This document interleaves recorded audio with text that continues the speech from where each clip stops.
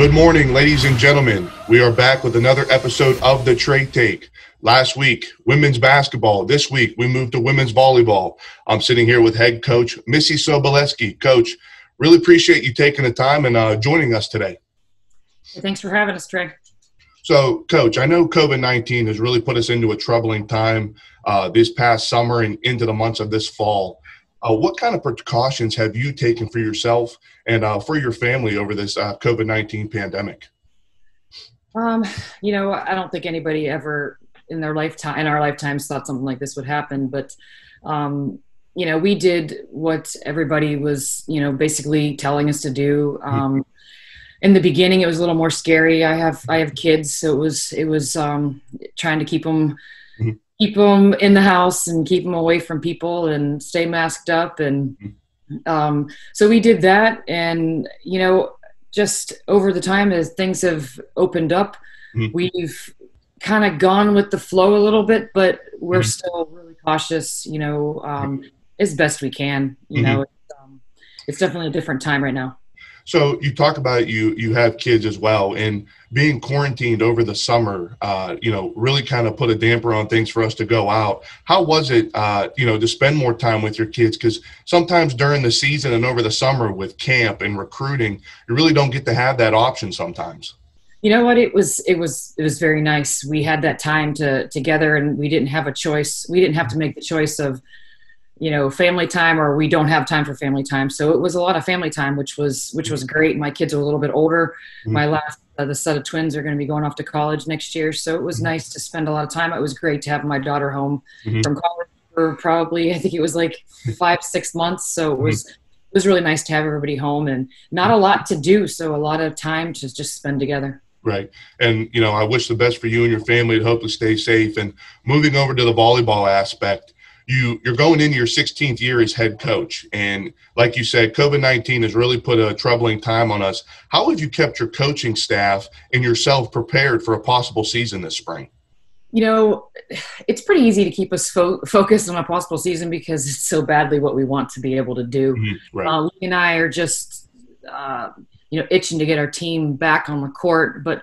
we understand and and we're nervous about um, covid as much as um, they are and as their parents are so we're we're um, a little torn because it's what we love to do i've been doing it for 25 years i think now mm-hmm. and this is the first time i haven't I, this is the first time august has been so august for me is normal right, right. like as normal people would say i haven't been able to you know, do anything in August other than preseason, which is mm-hmm. usually mm-hmm.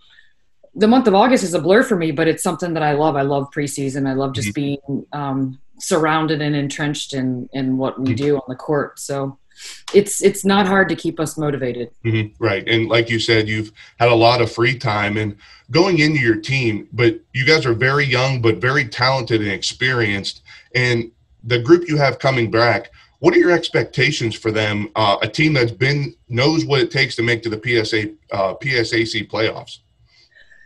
You know, um, we are young, but we have you know a senior class of five, and three of those three of those girls are returning starters for I think four years. Mm-hmm. Um, obviously, everybody you know looks to CC mm-hmm. uh, Sierra to be a, a major force. She's been a force in the PSAC and one of the top hitters in the PSAC since she's mm-hmm. been a freshman. Right. Um, uh, we're we're just excited to get back on the court. We're excited for the opportunity to possibly play in, in the end of December, January ish.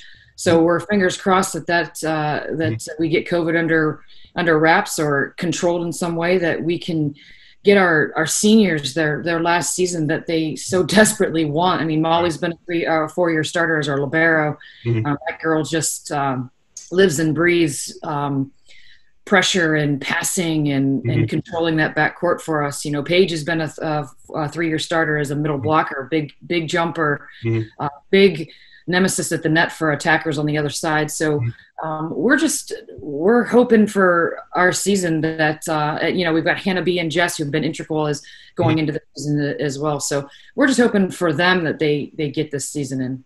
Mm-hmm. And like you said, you named just a couple of your players and you talk, like I said, you talk about a talented but a very senior group coming back. Sierra Jackson and Lisa Eldridge, uh, PSAC honorable mentions last year, and you mentioned Molly Breer as well, but also Bella Borelli, one of, another hitter who's really grown as a freshman her first year. What do what production do they need to have to have another run at a playoff berth this coming spring?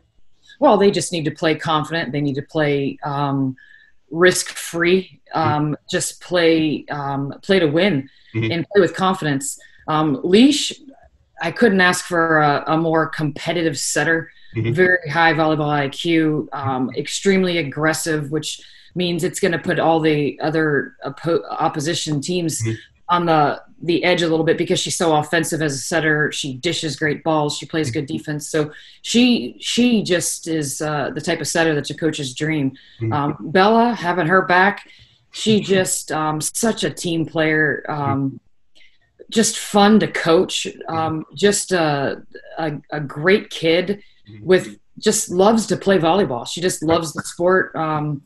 And you know what tell you the truth she's she's pretty darn funny so um, she always brings a little bit of comedy to some pressure situations so and, uh, and then sally sturkle sally sturkle mm-hmm. big six two she went from the middle to the right side mm-hmm. so um, puts up a nice um, right side block so i mean we just need performance from everybody mm-hmm. at a high level um, and we'll be in the run for a playoff berth mm-hmm.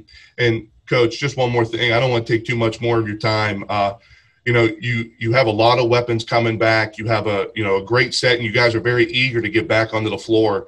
What are your expectations for coach soboleski volleyball team? Our expectation expectations are um, are high because of i expect them to work hard.